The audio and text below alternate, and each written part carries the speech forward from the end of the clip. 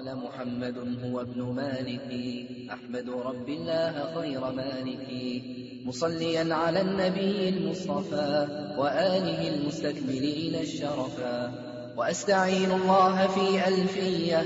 مقاصد النحو بها نحوية. تقرب الأقصى بلفظ موجز وتبسط البذل بوعد منجز. وتقتضي رضا بغير سخطه فائقة ألفية ابن معطي. وهو بسبق حائز تفضيلا مستوجب ثنائي الجميلا. والله يقضي بهبات وافرة لي وله في درجات الآخرة.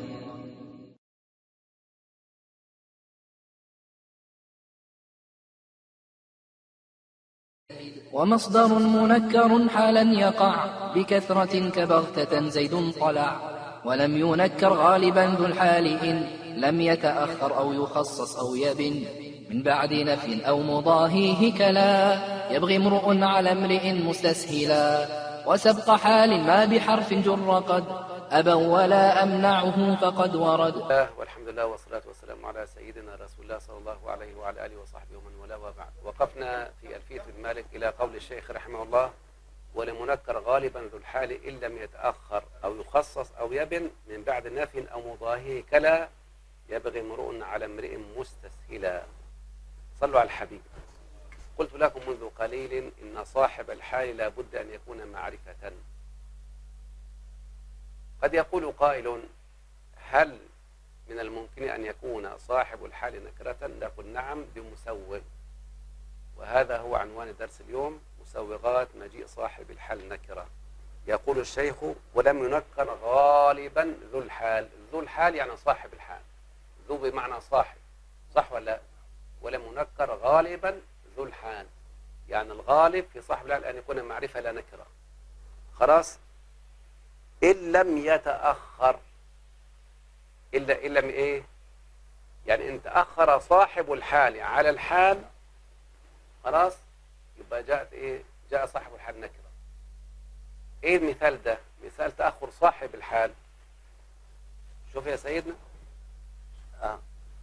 الشاعر لما قال لميت موش طلل. أصلها لميتة اللي هي في الشعر طلل موحش طلل موحش. الطلل هو ما بقى من آثار الدار بعد هجر أهلها. موحش يعني ليس فيها عمار يعني. فموحش صفة لطلل صفة النكرة نكرة.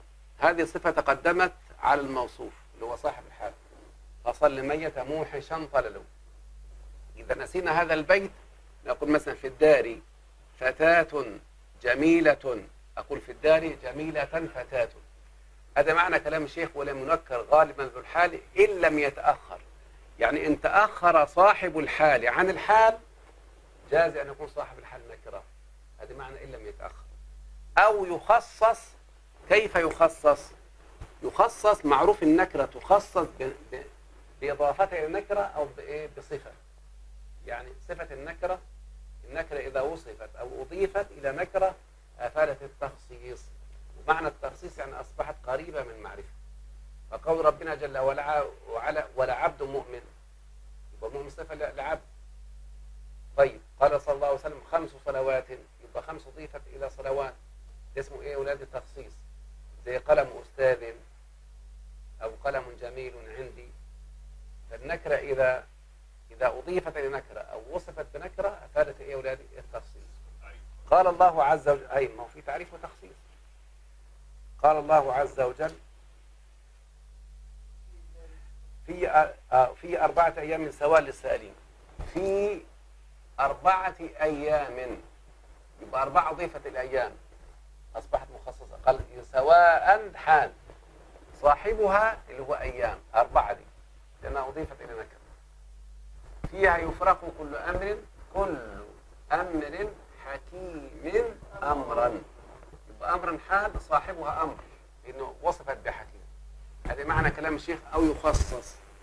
أو يبن يعني يظهر صاحب الحال من بعد نفي. وما أهلكنا من قرية إلا ولها إلا وإيه وأهلها؟ إلا ولها كتاب مبين صح؟ ما إلا ولها كتاب معلوم. وما أهلكنا من قرية. من قرية. يبقى ما أهلكنا من قرية. أو يبن من بعد نفي. يعني صاحب الحال اللي هو نكرة ظهر بعد النفي. ظهر إيه؟ بعد النفي. معروفة إيه؟ وما أهلكنا من قرية. يبقى قرية نكرة. جملة إلا ولها كتاب معلوم. هذه الجملة في محل نصب حال طب شبه النفي يقصد إيه؟ يقصد الاستفهام أو النهي. وهو راح الشيخ مثل لشبه النفي. قال لا يبغي امرؤ. ها؟ لا يبغي. اسمها لا الناهية. لا يبغي امرؤ على امرئ مستسهلا. يعني مستسهلا إيه؟ البغي والظلم يعني. فمستسهلا تعرف حال. لا يبغي امرؤ أدي صاحب الحالة هي لا يبغي امرؤ صاحب الحال نكرة. وصح أولاد ولا؟ يبقى ظهرت بعد النفي ولا بعد ما يشبه النفي. ما يشبه النفي هو النهي يعني. خلاص قول مع البيتين يا أولادي. ولم ينكر غالبا ذو الحال إن لم يتأخر أو يخصص أو يبن من بعد نفي أو مضاهيه كلا. يبغي امرؤ على امرئ مستسهلا. وسبق حال ما بحرف جر قد. آه وسبق حال ما بحرف جر قد أبوا. وسبق حال ما بحرف حرف جر قد أبوا ولا جر. جر؟ طيب وسبق وسبق حال ما بحرف جر قد أبوا ولا أمنعه فقد ورد. طيب نشوف الكلام ده يا أولادي. أنا إيه؟ أولا وسبق حال ما بحرف جر قد. وسبق حال ما بحرف جر قد. أبوا ولا أمنعه فقد ورد. ثاني البيت وسبق حال ما بحرف ما بحرف جر, جر قد. أبوا ولا أمنعه فقد ورد. صاحب الحال إما أن يكون مرفوعا أو منصوبا أو مجرورا. إن كان مرفوعا أو منصوبا جاز تقدم الحال عليه. تقول رجع القائد منصورا. لا تشرب الماء كدرا فيجوز في الحالين منصورا وكدرا تقدمه على صاحبها. تقول لي يا مولانا رجع القائد وإيه؟ يبقى أقول إيه يا شيخنا؟ يبقى رجع منصورا القائد. صح؟ طيب لا تشرب كدرا الماء. هو يقول ولا تجز حالا. لا فين؟ وسبق حال. حال ما بحرف جر قد أبوا. طيب.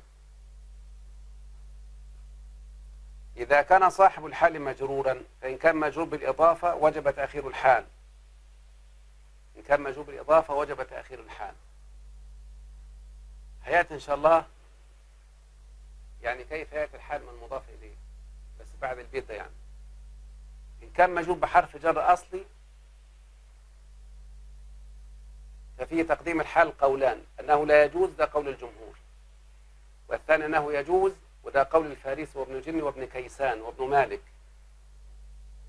واستدلوا على ذلك بقوله تعالى وما أرسلناك إلا كافة للناس شوف الآية أهو.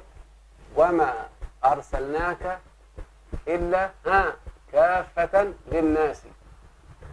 أصلا للناس كافة صح؟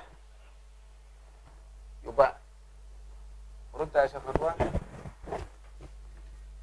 وإن كان نقول لهم الشيخ خلاص يعني تعبان النهارده. وما أرسلناك إلا كافة للناس ها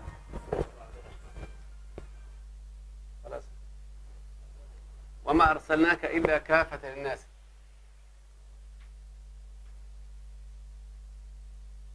شوف يا مولانا الشيخ شريف.